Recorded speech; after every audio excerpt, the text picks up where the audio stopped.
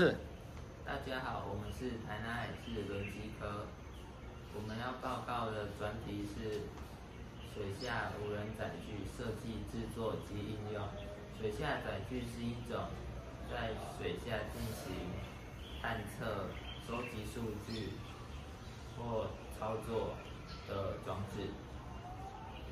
另外，有些水下载具还可以进行远端操控或无人操作。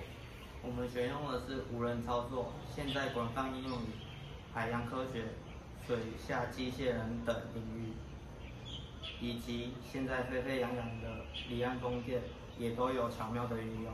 ROV 可进行长时间且连续性的水下作业，减少时间和人力成本，增加安全性和效率。我们制作的 ROV 是使用蓝牙远端操控系统，我们使用远端发发射器及接收器来操作 ROV，通可以使 ROV 前进、前进及后退，也同时具有上升与下降的功能。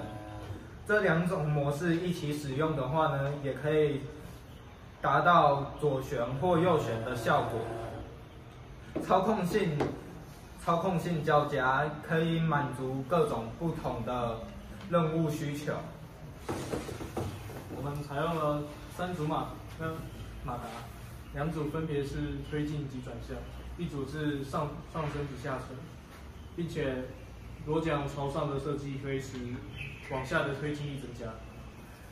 在水管外外侧钻许多小孔，让海水可可以利用背压。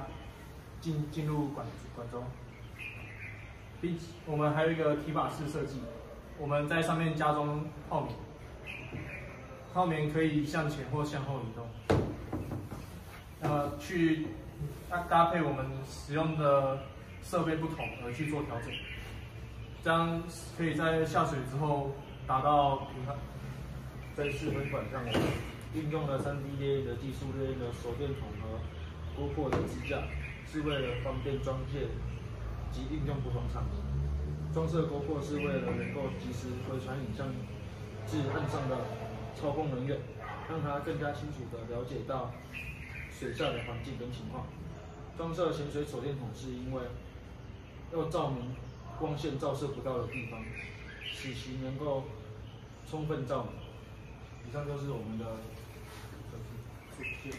介绍，专题介绍。谢谢大家，谢谢大家。